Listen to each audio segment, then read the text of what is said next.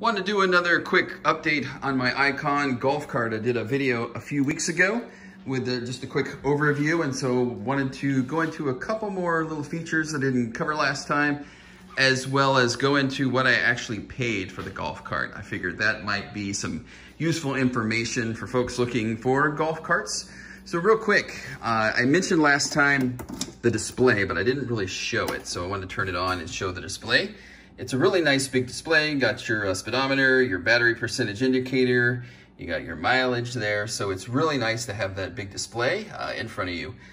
Another feature that I didn't mention was the forward and reverse button. It's right here on the, the front console, easy to, to switch, and I like that. Other golf carts I've seen have the, uh, the, the direction switch under the driver's seat, so you have to reach down to change directions. But uh, right here on the dash is the icon switch, so it's really nice. As well, here is a, uh, a nice USB um, charging port, a couple of ports there for your phone, Bluetooth speaker or whatever, so it's really nice to have that. All right, so let's get into what I actually paid for this golf cart. Again, this is a 2020 Icon i60L.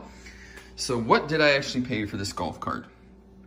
Out the door, I paid 10,000 even. So I'll go down the breakdown here. The golf cart itself, 93.11, 38 cents. Uh, then there was a $100 essentially um, document fee, and, and then there's taxes, 589.62, which you do the math, and that comes out to 10,000 even.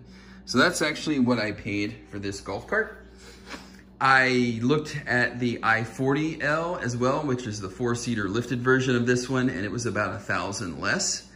I originally had put in an order on a four-seater and it was just taking longer than I was willing to wait. Uh, in the meantime, this the six-seater came in. I wanted this specific indigo blue color, so I was really wanting this color, uh, and the six-seater came in, and with it only being a thousand dollars more, I decided to spring for this one instead. So um, anyway, hopefully that provides um, some useful information on what I actually paid for this golf cart.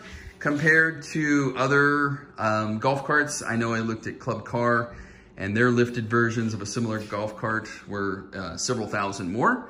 So, but uh, like I said, for what I got uh, on this golf cart, the options and the price, to me, that's kind of what I was looking for. So hopefully that provides some useful information.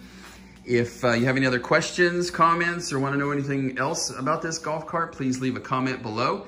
And I'll also be sure to put a link to my previous video in case anybody missed that one. Thanks.